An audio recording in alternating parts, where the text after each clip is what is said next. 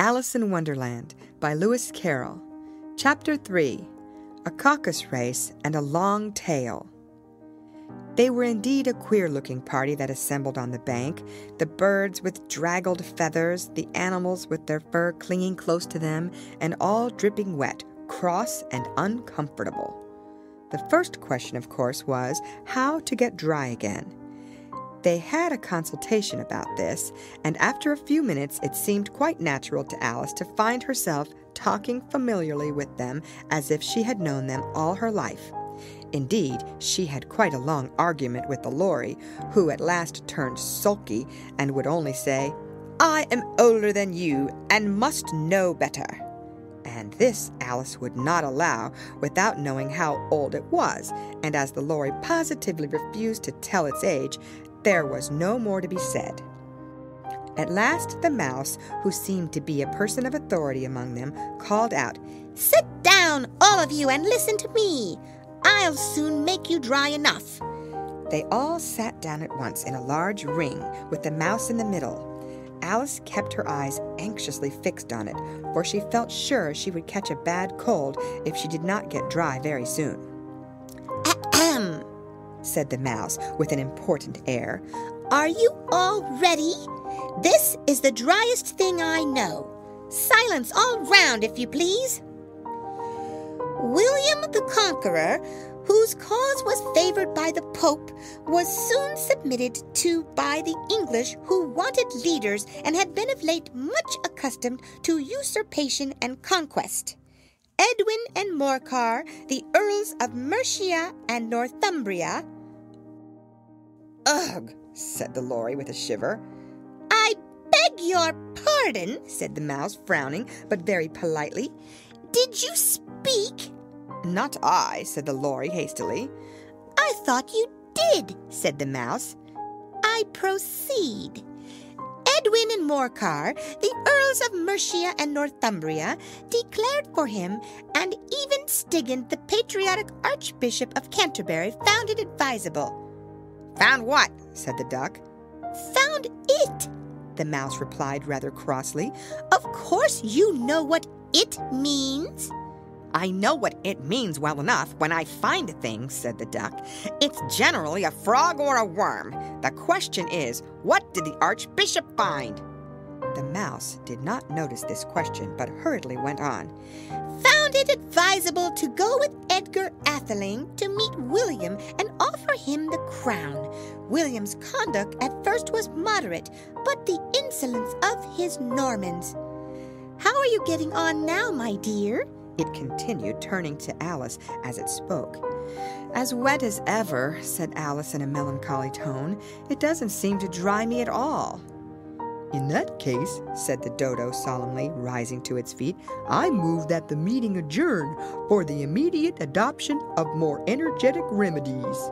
Speak English, said the eaglet. I don't know the meaning of half those long words, and what's more, I don't believe you do either and the eaglet bent down its head to hide a smile. Some of the other birds tittered audibly. What I was going to say, said the dodo in an offended tone, was that the best thing to get us dry would be a caucus race. What is a caucus race? said Alice. Not that she wanted much to know, but the dodo had paused as if thought that somebody ought to speak, and no one else seemed inclined to say anything. Why, said the dodo, the best way to explain it is to do it. And as you might like to try the thing yourself some winter day, I will tell you how the dodo managed it. First, it marked out a race course in a sort of circle. The exact shape doesn't matter, it said. And then all the party were placed along the course here and there. There was no one, two, three, and away, but they began running when they liked and left off when they liked, so that it was not easy to know when the race was over. However, when they had been running half an hour or so and were quite dry again, the dodo suddenly called out, The race is over! And they all crowded round it, panting and asking, But who has won? This question the dodo could not answer without a great deal of thought, and it sat for a long time with one finger pressed upon its forehead, the position in which you usually see Shakespeare in the pictures of him, while the rest waited in silence. At last, the dodo said, Everybody has won, and all must have prizes. But who is to give the prizes? Quite a chorus of voices asked. Why, she, of course, said the dodo, pointing to Alice with one finger, and the whole party at once crowded round her, calling out in a confused way, Prizes! Prizes! Alice had no idea what to do, and in despair, she put her hand in her pocket and pulled out a box of comfits. Luckily, the salt water had not gotten into it, and handed them round as prizes. There was exactly one apiece all round. But she must have a prize herself, you know, said the mouse. Of course, the dodo replied very gravely. What else have you got in your pocket? he went on, turning to Alice.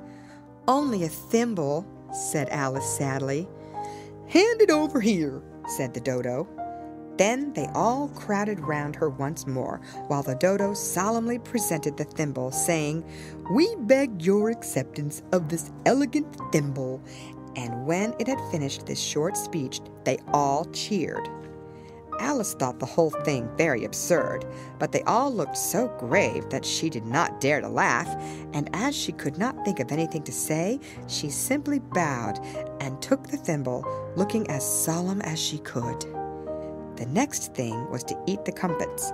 This caused some noise and confusion, as the large birds complained that they could not taste theirs, and the small ones choked and had to be patted on the back. However, it was over at last, and they sat down again in a ring and begged the mouse to tell them something more. You promised to tell me your history, you know, said Alice, and why it is you hate C and D, she added with a whisper, half afraid that it would be offended again. Is a long and sad tale, said the mouse, turning to Alice and sighing. it is a long tail, certainly, said Alice, looking down with wonder at the mouse's tail. But why do you call it sad? And she kept on puzzling about it while the mouse was speaking, so that her idea of the tale was something like this. Fury said to a mouse that he met in the house, Let us both go to law, I will prosecute you. Come, I'll take no denial, we must have a trial, for really this morning I've nothing to do. Said the mouse to the cur, Such a trial, dear sir, with no jury or judge, would be wasting our breath. I'll be judge, I'll be jury, said cunning old Fury. I'll try the whole cause and condemn you to death. You are not attending, said the mouse to Alice severely. What are you thinking of? I beg your pardon, said Alice very humbly. You had got to the fifth bend, I think. I had not, cried the mouse sharply and very angrily. A knot, said Alice, always ready to make herself useful and looking anxiously about her. Oh, do let me help to undo it. I shall do nothing of the sort, said the mouse, getting up and walking away. You insult me by talking such nonsense. I didn't mean it, pleaded poor Alice, but you're so easily offended, you know. The mouse only growled in reply. Please come back and finish your story, Alice called after it, and the others all joined in chorus. Yes, please do. But the mouse only shook its head impatiently and walked a little quicker. What a pity it wouldn't stay, sighed the Lory as soon as it was quite out of sight, and an old crab took the opportunity of saying to her daughter, Ah, my dear, let this be a lesson to you never to lose your temper. Hold your tongue, Ma, said the young crab a little snappishly. You're enough to try the patience of an oyster. I wish I had our Dinah here. I know I do, said Alice aloud, addressing nobody in particular. She'd soon fetch it back. And who is Dinah, if I might venture to ask the question? said the Lory. Alice replied eagerly, for she was always ready to talk about her pet. Dinah's our cat, and she's such a capital one for catching mice, you can't think. And oh, I wish you could see her after the birds. Why, she'll eat a little bird as soon as look at it. This speech caused a remarkable sensation among the party. Some of the birds hurried off at once. One old magpie began wrapping itself up very carefully, remarking, I really must be getting home. The night air doesn't suit my throat. And a canary called out in a trembling voice to its children, Come away, my dears. It's high time you were all in bed. On various pretexts, they all moved off, and Alice was soon left alone. I wish I hadn't mentioned Dinah, she said to herself in a melancholy tone. Nobody seems to like her down here, and I'm sure she's the best cat in the world. Oh, my dear Dinah, I wonder if I shall ever see you any more. And here poor Alice began to cry again, for she felt very lonely and low spirited.